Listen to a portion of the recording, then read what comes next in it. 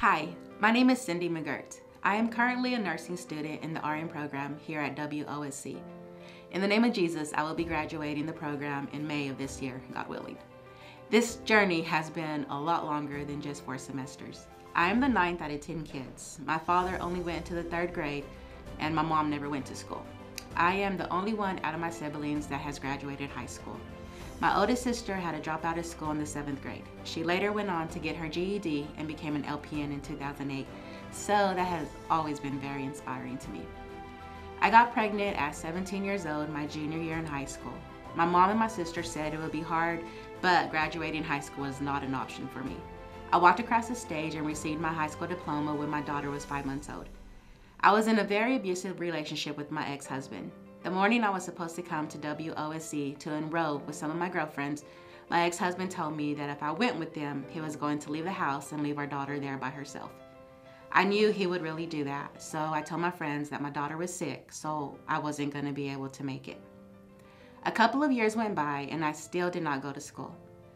One day when I went to the store, my cousin was there working. She asked me what I was up to and I just casually mentioned I was thinking about enrolling in college. She very confidently said that I would not go. She said that it has already been a few years since I've been out of high school, so I was never going to go.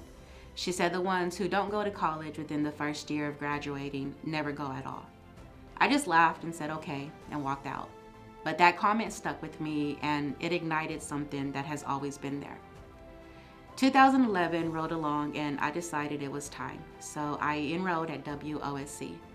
It was a struggle between being a young mom, trying to do school, and still acting like my life was fine, all the while being in this very abusive relationship.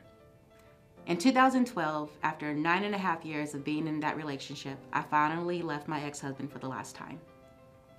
Life seemed to be getting better. In May 2014, I was accepted into the RN program. My mom was super proud of me. She told me that anything was possible with God. Then June 2014, my mom passed away. I no longer knew how to do life without her and without her prayers. My mother was disabled, so I lived with her and took care of her the last 10 years of her life. So without her, nothing made sense anymore. August 2014, I started the RN program, but I no longer had the desire or the willpower to do school. In my second semester, after taking my final, I was told I didn't pass the program. I was really done with school after that. I wanted nothing more to do with furthering my education. But in reality, it was the failure that I was afraid of. Years later, I decided to give school one more try. So in 2019, I started the LPN program. I graduated in January of 2020 and got my LPN license in March of 2020. Apparently, I didn't get enough of school because in 2022, I decided to do it again I was accepted into the RN program once again. I came back to school for my mom.